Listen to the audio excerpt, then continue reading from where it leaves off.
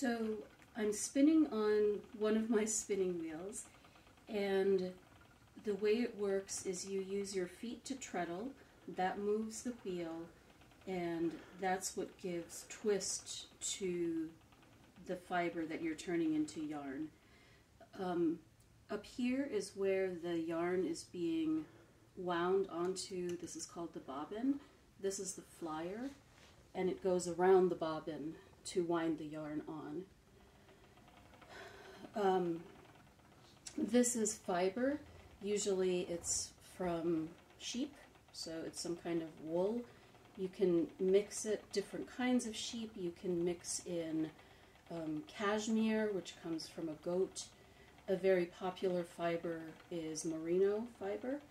And what I'm what I'm doing here is it's called drafting. So I'm pulling bits of fiber out and then the spinning wheel is adding the twist to make the to make it solid into this is called a singles yarn because it's just a single strand.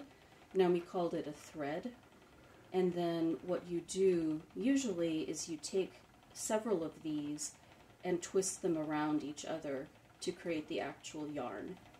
And if you look at um, even a thread, sewing thread, you'll see that it's actually just twisted up together.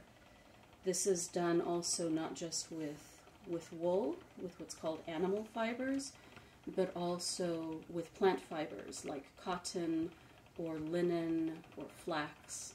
They do the exact same thing. Um, one of the differences is for cotton, uh, the what's called the staple length is is really short. So the fiber is just like hair for animals. So you can see that this is relatively short.